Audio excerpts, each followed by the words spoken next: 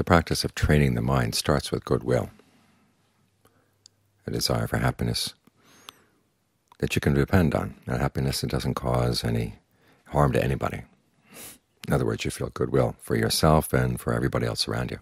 That's an attitude that has to be developed, because it's very easy to feel goodwill for the people we like and we love, and very easy to feel ill will for people who have harmed us or harmed the people we love. But you have to realize that kind of division right there, that kind of partiality, sets you up for all kinds of dangers. I mean, you can start acting on that ill will, and then you end up causing a lot of trouble for everybody, yourself and other people. And so it's that realization that you want to develop goodwill all around. That's why we have the, the chants on goodwill. And it's not just a chant that you do for a few minutes every day. It's an attitude you try to develop. So you might want to sit down and think about the people that it's easy to feel goodwill for, and then start thinking about people it's not so easy. And see if you can develop an attitude of goodwill for them. What is goodwill? It's a desire that people will understand the causes of happiness and act on them. When you stop and think about it, that's not hard to develop for other people, even the people you don't like, even the people who've behaved in unskillful ways, because your hope is that they will change their ways.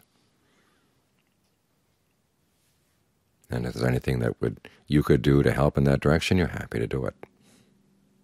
That's what goodwill is. And so you want to sit down and think about all the people you really dislike.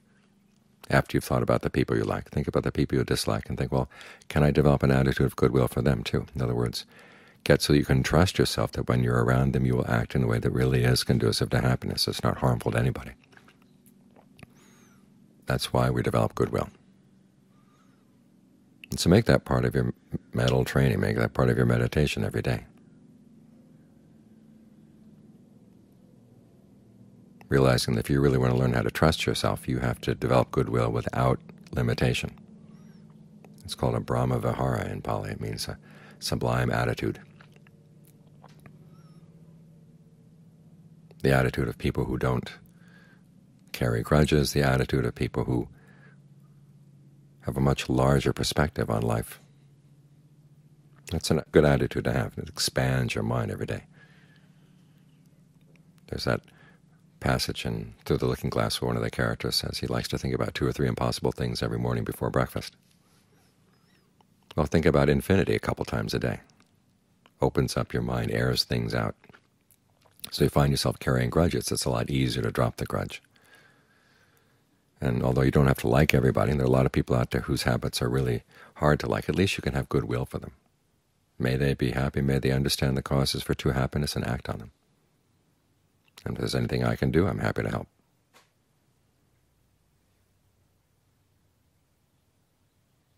That's a good attitude to practice and to make part of your training every day.